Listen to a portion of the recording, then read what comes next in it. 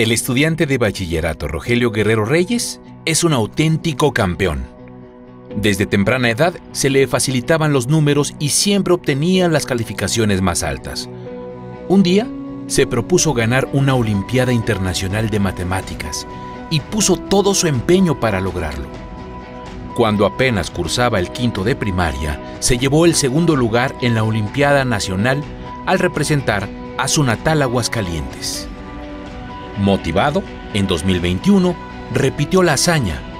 Esta vez fue el gran triunfador de la Olimpiada Matemática de Centroamérica y el Caribe organizada por Colombia.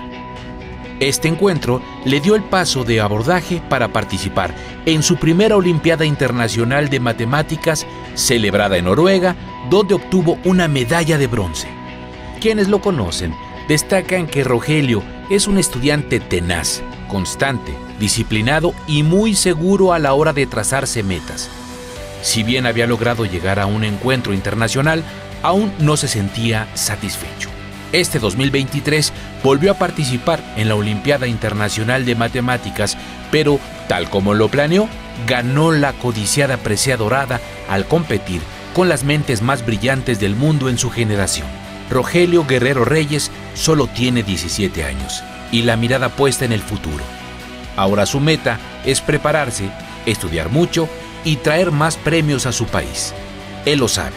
Con paciencia y perseverancia se conquistan las montañas.